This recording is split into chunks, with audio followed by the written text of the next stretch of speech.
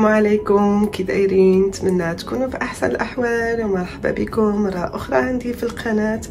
اليوم فيديو جديد اللي غادي نشارك معكم طريقتي في تحضير المقروط الوجه أو بالأحرى الجزائري. آه كيف ما كتعرفوا حنايا الوجده بحكم القرب من الحدود الجزائرية. آه عندنا عدة وصفات اللي كنشاركوها مع الجزائريين وحتى اللهجة ديالنا. عندي بزاف الصديقات ديالي اللي كيقولوا لي بزاف الهضرة ديالكم ما مفهوماش. دائما كنقول لهم حنايا هضرتنا مايلة للجزائريين. آه اللي كنحييهم من هذا المنبر عندي بزاف الأصدقاء ديالي من تما. كنشكرهم بزاف حتى هما على المتابعة ديالهم للقناة ديالي. أه تابعوا معايا الوصفة والمقادير. نتمنى هذا الفيديو ينال إعجابكم وما تنساونيش باللايكات ديالكم وبالتعليقات الإيجابية ديالكم اللي كتفرحني بزاف. وشكرا لكم شكرا بزاف على المتابعة ديالكم وعلى الوفاء ديالكم. تابعوا معايا. بالنسبة للمقادير عندي هنايا آه غرفية نتاع السميد الرقيق كيف ما كتشوفوا. ما يعادل 250 غرام. أنا كنعبر بهاد الغرفية هادي. كيف ما كتشوفوا هادو الغرفيات اللي كيشبهوا لدوك الغرافي القدام ديالنا نتاع الطاووس دائما هادو كيكونوا كي كيعبروا 250 غرام. كيجيني هكا ساهل. آه عندي آه 250 غرام نتاع آه سميد الغليظ يعني غرفية حتى هو كيف ما كتشوفوا هذا الغلظ هذا. آه عندي آه معلقة كبيرة نتاع السكر سنيدة ومعلقة صغيرة نتاع الملح. آه عندي 100 غرام تاع الزبدة مذابه كيف ما كتشوفوا. أو آه نصف كاس. هاد الك... هاد الكيسان هادو عندي نصف كاس خدالي هي 100 غرام تاع الزبدة. وعندي هنايا باش نجمع عندي آه كأس كبير نتاع الماء وعندي كويس صغير كيف ما كتشوفوا النصف ديالو نتاع ماء الزهر. وهذا الشيء كيبقى على حسب السميد شنو غادي يشرب لنا ولا ما يشربش. بعض المرات كنستعمل هاد الكمية كاملة وبعض المرات ما كنستعملهاش. وبعض المرات كنحتاج أكثر يعني على حسب النوعية نتاع السميد. هاد الشيء بالنسبة للمقادير نتاع السميد غادي نمر عندي هنايا بالنسبة للمقادير نتاع الحشوه عندي آه 150 غرام تاع التمر آه مفور ومطحون. أنا هنايا استعملت غير الجاهز ولكن اللي بغى يصاوبو في الدار راه كيفور التمر وكي يطحنوا في هذيك الطحانة اليدوية. كيكون أحسن بعدا كيتصاب. ما كانش ما أحسن من الحاجة اللي كتصايب في الدار.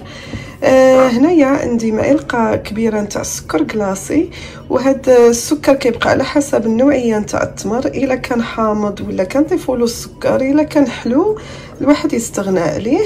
عندي آه نصف آه ملعقة صغيرة نتاع القرفة وعندي كذلك نصف ملعقة صغيرة نتاع الكبابة. هنايا الكبابة أنا تعلمتها من الوالدة الله يرحمها دائما كديرها في الحشوة نتاع التمر كتجي رائعة كتعطيها واحد المذاق لذيذ ملي أنا مولفات وسبحان الله بالمذاق نتاع الكبابة كيعجبني بزاف. وكتجي زوينة والكبابة حتى هي فيها منافع كثيره البنات زوينة حتى هي. وكتجي زوينة صدقوني جربوها ما غاديش تندموا عليها. عندي هنايا ملعقة كبيرة نتاع الزبدة آه الزبده الرطبة واللي غتكون بحرارة المطبخ. وعندي ملعقة نتاع آه ماء الزهر. وهنايا عندي واحد المعلقه نتاع اللوز بودرة. هذا كيبقى اختياري هو والزنجلان. عندي ملعقة كبيرة حتى هي. اللي بغى يديرهم يديرهم. اللي بغى يستغنى عليهم أكيد هذاك الشيء على حسب الرغبة. وبطبيعه الحال القلي عندي غادي نحتاج الزيت. وعندي العسل باش ندير فيه المقروط ديالي من بعد ما نطيبه. وتابعوا معايا الطريقة. أول حاجة غادي ندير السميد الحاجة اللي غادي نخلط فيها غادي ندير السميد الغليظ والسميد الرقيق غنضيف عليهم الملح والسكر. غادي نخلطهم مزيان حتى ينسجموا مع بعضياتهم العناصر ديالي الناشفه هكا في الأول.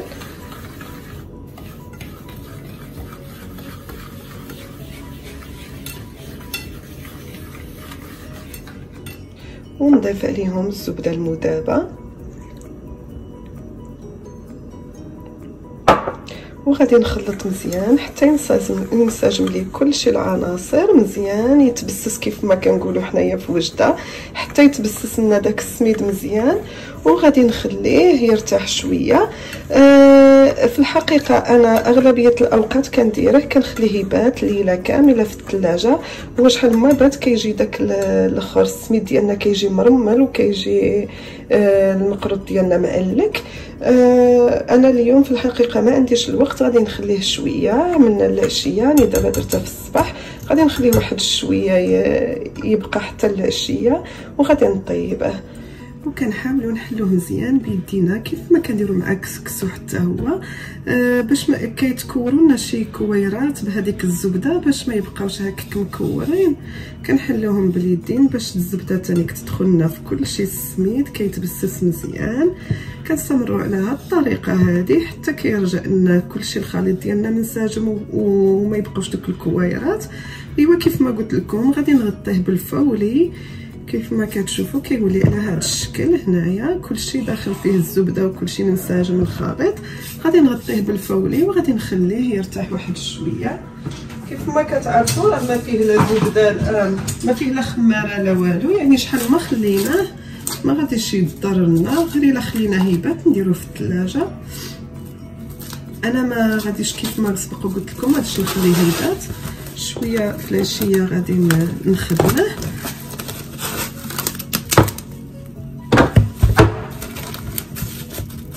غادي نخليها على جنب. يعني ماشي ضروري نديرها في الثلاجة. وغادي نمر دابا آه للتمر. نخدموا العجينة نتاع التمر ديالنا.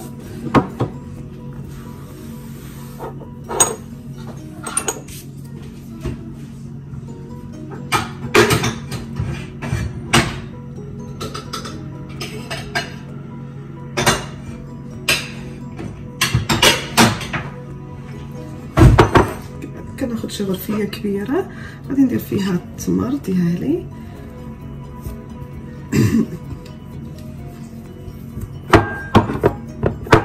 كنضيف عليه آه المعلقة نتاع الزبدة اللي قلت لكم. ومعلقة كبيرة نتاع آه اللوز بودرة. والزنجلان معلقة كبيرة. البنات هذا الزنجلان كيجي رائع في هذا التمر مع هو كيتقلى المقروط في الزيت. وكيتقلى داك الزنجلان كيبقى الواحد فاش كياكله كيبقى يطرطق في الفم كيعطي واحد المذاق هائل واحد النكهة زوينة فيه. عندي هنايا القرفه الكبابه كيف ما سبق وقلت لكم والسكر كلاصي كنخلط الكل كنضيف عليهم حتى المعلقه نتاع ما زهر ونخلطهم نجمعهم كاملين حتى ينسجم لي الخليط. هنايا كيف ما كتشوفوا من بعد ما ما جمعت التمر ديالي بدوك المكونات اللي كنت شاركتهم معاكم. غادي كنحاول نديرهم باكيطات طوال كنحربلهم وكنخليهم على جنب حتى حتى نخلط السميدة ديالي بالماء وما زهر وغادي نوريكم الطريقة كي غادي ندير نستعملهم. كيف ما كتشوفوا على هذا الشكل. كنستمر هكا حتى كنكمل مع التمر ديالي. ونحاول نغطيه بالفولي حتى هو باش ما ينشفليش. حتى نسالي من من السميدة ونبقى نهز بالوحدة.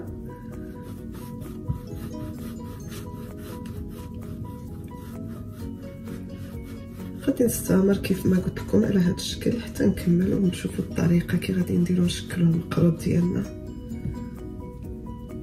وهنايا غادي نبديو نشكلو المقروط ديالنا. كيف ما قلت لكم راني خليت السميد يرتاح واحد شوية. درته في الصباح حتى العشية عاد غادي نخدمه.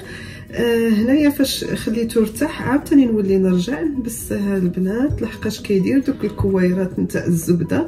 نحاول نحيدهم كاملين بيديا. نحاولوا نديروا بحال حنا كنخدموا كسكسو. ايوا فاش كيتحل لي كامل غادي نشارك معكم الطريقة كي غادي ندير نخدمه.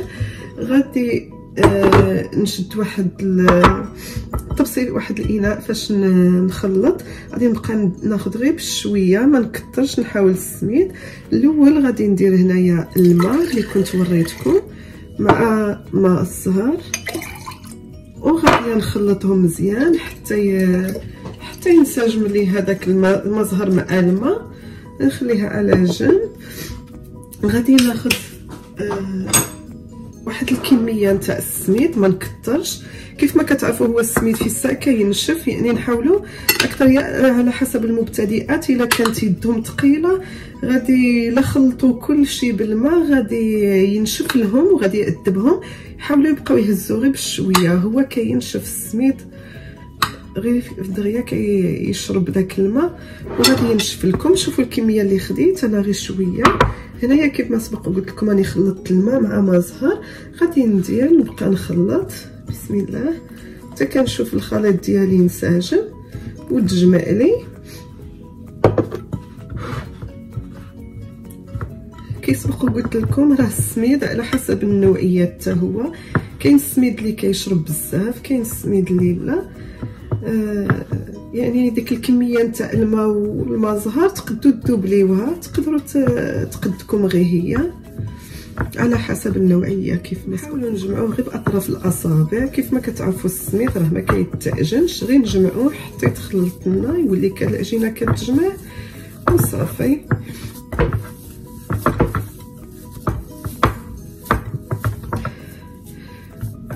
وهذا هو الشكل دياله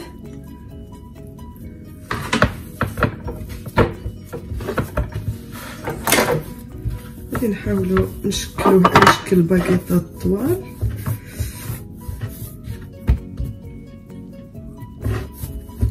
كيف ما كتشوفوا المهم التشكيل كيبقى على حسب الرغبة وعلى حسب الحجم اللي كتبغيو نتوما أنا كيعجبني المقروط يجي صغيور.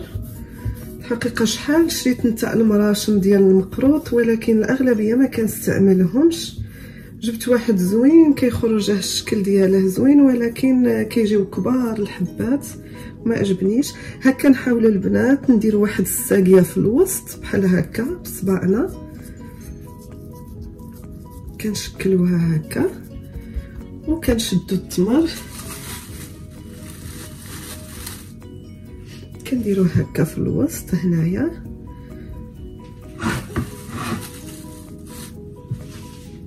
على هذا الشكل على الطول نتاع الباكيطه نتاعنا.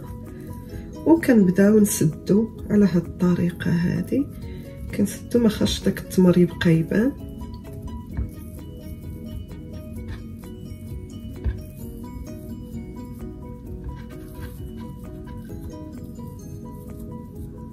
خاصنا داك التمر ما يبقاش يبان نهائيا. نحاولوا نسدوه كامل.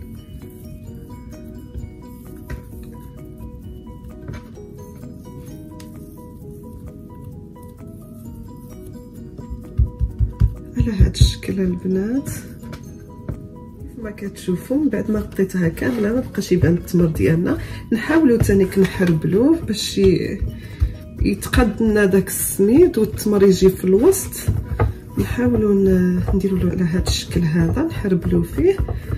كيف ما كتشوفوا كيكون ساهل ما كيعذب ما والو ما كيخرج لنا لا تمر لا والو. كيجيو متقادين هكا.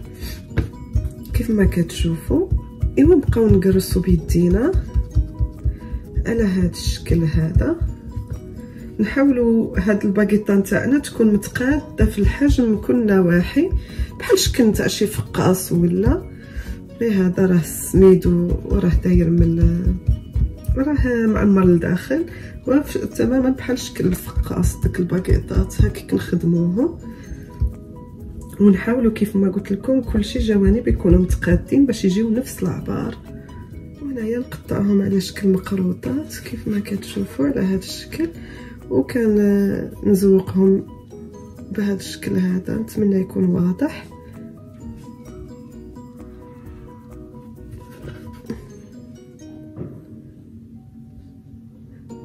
ما سبق وقلت لكم شحال تاع المراشم شريتهم ما كيخرجوا لي الحبات كبار ما كيعجبونيش داك الحجم هذاك. كنفضل نديرهم غير بيدي وعلى داك الشكل هذاك. وكنستمر على هذا الشكل حتى نكمل كاع الحبات نتاعي ونبدي نقليهم في الزيت. فاش كيطيبوا كنطفيهم في العسل. كيجيو على هذا الشكل هذا. كنديرها غير بيديا كيف ما شفتوا غير بالموس كيجي زوين هذا الشكل بحال السبولة. غادي نستمر على هذا الشكل وفاش غادي نكمل غادي نشارك معكم الطريقة نتاع الطياب ديالهم.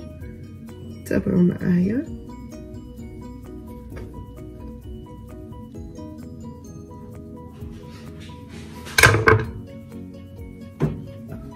بالنسبة لهاد الحبات غادي في الأول حتى نكمل كاع الكمية اللي عندي. غادي نبقى ندير هكا في, في البلاطو كنحطهم حتى نكمل كلشي المقروط ديالي التشكيل دياله.